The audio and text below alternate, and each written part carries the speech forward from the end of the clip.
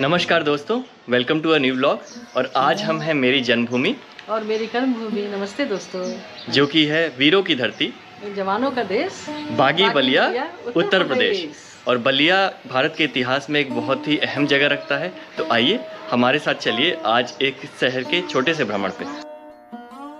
मैं उसके लिए क्या लिखूं जिसने मुझे लिखा है? पर एक कोशिश तो बनती है।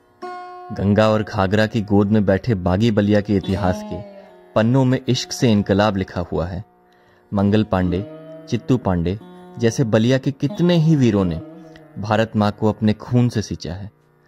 किस्से तो बहुत हैं, पर एक जो जहन में सबसे पहले आता है, वो 1942 का है, जब बलिया वासियों ने स्वर्गीय चित्तू पांडे की अगुवाई में पाँच दिनों तक बलिया को ब्रिटिश हुकूमत से औपचारिक तौर पर आज़ादी दिलाई थी।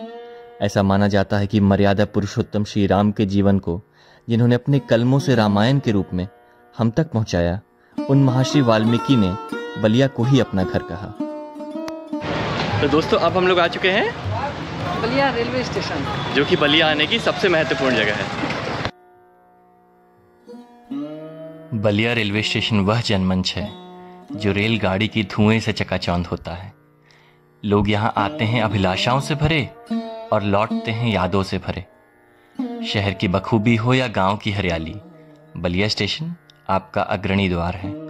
प्राचीन इतिहास और संस्कृति की विरासत बलिया स्टेशन आपका हार्दिक स्वागत करता है।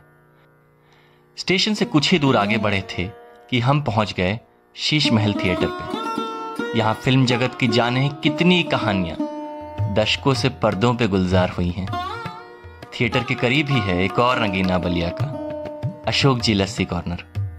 तो दोस्तों, हम लोग अभी आ चुके हैं अशोक जी फ़ेमस लस्सी पे, जो बचपन से ही मेरी बहुत फेवरेट रही है। ये देखिए, ऐसी है कुछ ये शॉप और मम्मी यहाँ पे बैठी हुई है। ये लस्सी आ गई है, इनकी स्पेशलिटी होती है कि इतना बड़ा मलाई का ये टुकड़ा ऊपर डाल के देते हैं।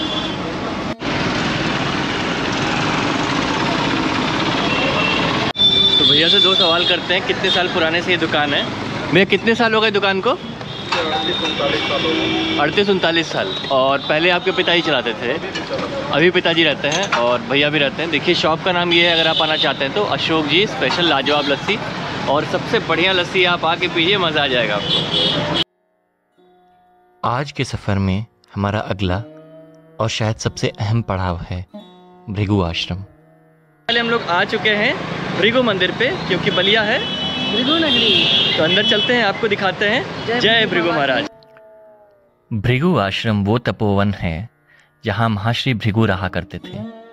आश्रम की दीवारें बीते हुए वक्त की कहानियाँ बयां करती हैं। ऐसा माना जाता है कि जगत निर्माता ब्रह्मा जी के पुत्र भृगु मुनि ब्रह्मा विष्णु और महेश में सर्वश्रेष्ठ की खोज पे निकले थे। महाश्री भृगु को फादर ऑफ़ एस्ट्रोलॉजी भी कहते हैं।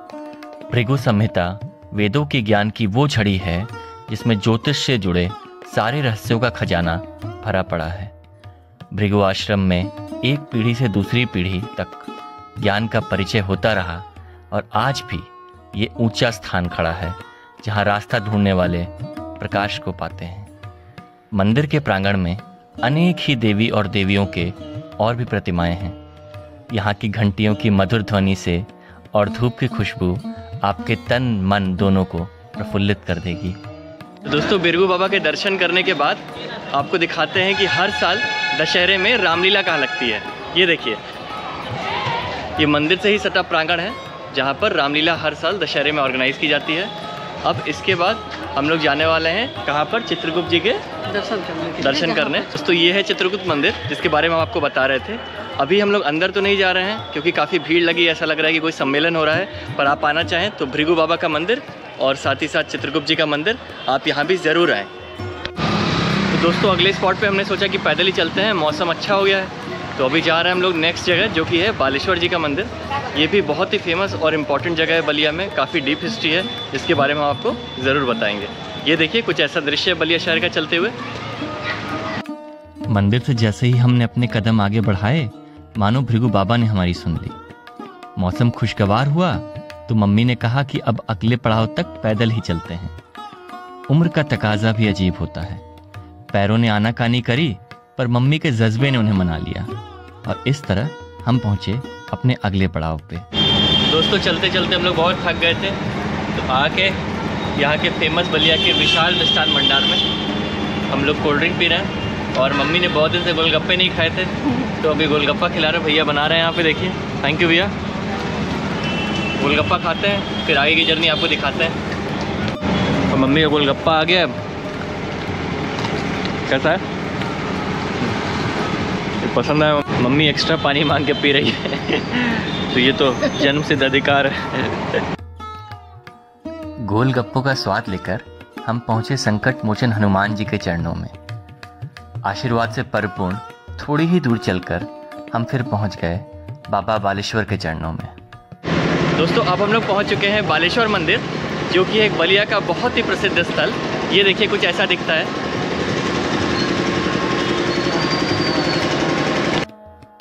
बाबा बालेश्वर नाथ मंदिर को सैकड़ों वर्ष पहले दियारा क्षेत्र में राजा बलि ने स्थापित किया था। बाबा बालेश्वर नाथ का मंदिर सदियों से श्रद्धालुओं की अटूट आस्था व विश्वास का केंद्र रहा है। मान्यता यह है कि यहाँ श्रद्धा भाव से जो भी श्रद्धालु आते हैं, वह कभी हताश व निराश नहीं लौटते। दर्शन करके अब लोग निकल चुके हैं। अंदर हमने शूट नहीं किया, बहुत सारी भीड़ थी। तो मम्मी देखिए, अब जा रही है। काफ़ी सुंदर रेनोवेशन करवाया गया है मंदिर का अभी। और आप यहाँ ज़रूर आएँ, बहुत ही अच्छा लगता है। शाम को आके कुछ बैठे, कुछ देर अच्छा लगेगा। तो बालेश्वर जी के दर्शन करके अब हम लोग जा रहे हैं बलिया की बहुत ही फ़ेमस समोसे की शॉप जहाँ के मैं बचपन से आता हूँ। तो आइए आपके उसको कुछ दृश्य दिखाते हैं। मंदिर के प्रांगण से निकलते ही हम पहुँच गए नुक्कड़ पर गर्मा गर्म समोसे खाने। यहाँ से मेरी बचपन की यादें जुड़ी हैं। दादाजी की उन उंगलियों को पकड़कर मैं यहाँ तब से आता हूँ, जब तक मेरे दूध के दांत भी नहीं टूटे थे। पर आज भी सब कुछ समय में रुका सा लगता है। वही दुकान वही समोसे के लिए लगी लंबी भीड़। और सबसे बड़ी बात जबा पे लगते ही वही स्वाद। वाह तबीयत दुरुस्त हो गई। अच्छा लग रहा है बचपन वाली बात? एक नंबर बचपन जैसा हमेशा। हाँ। देखिए मैं चाय पी रहा। तो हम लोग एक दुकान पे रुक के बढ़िया और चाय पी रहे और आगे चलते हैं इसकी जर्नी में। तो महावीर मंदिर से दोस्तों ये रास्ता सीधा स्टेशन की ओर चला जाता है और हम लोग अभी वहीं चलने वाले हैं। मन को हमेशा आज छोड़ कल की चिंता होती है। तो हमें भी हुआ। हरी चनों का मौसम था तो मम्मी ने थोड़े से जल्दी से कल के नाश्ते के लिए पैक करा लिए। फिर हम अपने सफ़र में आगे बढ़े चौक की ओर। ऐसा लगता है मानो चौक वो हृदय है, जहाँ रगो रूपी बलिया की सारी गलियाँ आ मिलती हैं। बलिया के स्वतंत्रता आंदोलन में योगदान और अगस्त क्रांतियों की उपलब्धियों व बलिदानों का स्मरण कराता बलिया की हृदय स्थली में बसा पार्क शहीद पार्क भी यहीं पर है। हमने सोचा अब अपना सफ़र खत्म करते हैं पर बलिया आए और लिट्टी चोखा नहीं खाया तो क्या बलिया आए? महकते धुएँ और मसालेदार बातों ने हमें अपनी तरफ़ खींच लिया। और दोस्तों हम लोग आ गए हैं बलिया की सबसे फ़ेमस स्पेशलिटी खाने में जो है जो कि है? लिट्टी चोखा। लिट्टी चोखा। ये देखिए। भैया की दुकान पे आए राजेश लस्सी कॉर्नर पे हम लोग। और स्टेशन से जस्ट पास में है, ये देखिए स्टेशन है। और अभी चूँकि इतना कुछ खा लिया पेट भर गया है बट हम लोग पैक करा के घर ले जा रहे हैं अभी दो। स्टेशन से ही जुड़े हुए इन अनेक लिट्टी चोखे की गुमटियों में प्यार परोसा जाता है।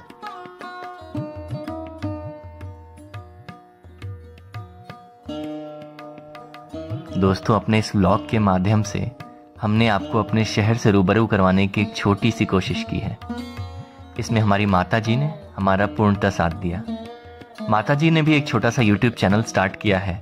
आशा है आप उनके चैनल को भी वैसा ही प्यार दिखाएँगे। हमें उम्मीद है कि आप अपने अगले यात्रा में बलिया ज़रूर आएँगे। तो दोस्तों, हम लोग घर वापस आ चुके हैं। आशा है कि आपको बलिया शहर की कुछ झलकियाँ पसंद आई होगी। अगर आप अभी तक बलिया नहीं आए हैं तो ज़रूर आए। आपका वेलकम है। और अगर आप बलिया सही हैं तो बताएँ कि कौन सी ऐसी जगह है या कौन सी ऐसी जगह है जो हमने मिस कर दी। कमेंट सेक्शन में ज़रूर बताएँ। मम्मी अभी क्या क्या पैक करा के ले आई है? एक लिट्टी चोखा है और एक भुने हुए चने जो आग पर भुने जाते हैं यहाँ का फ़ेमस चना है। हाँ, और हमारे साथ बने रहिए। प्लीज़ लाइक शेयर सब्सक्राइब देखने के लिए थैंक यू और रिमेंबर दोस्तों कि बलिया जिला घर बा कोना बात के डर बा तो कौन बात के डर बा